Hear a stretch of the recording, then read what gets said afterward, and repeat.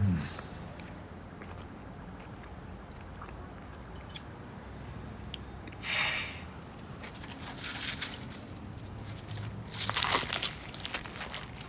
single red ant could have eaten it faster.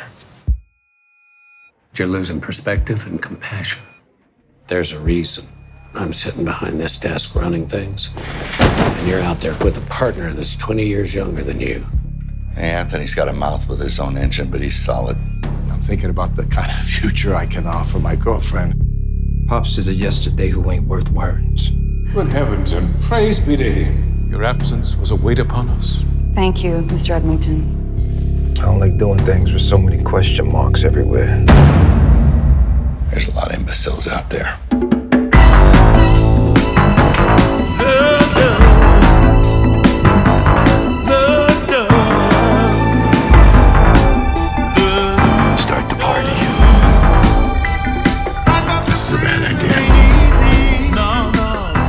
Cotton candy.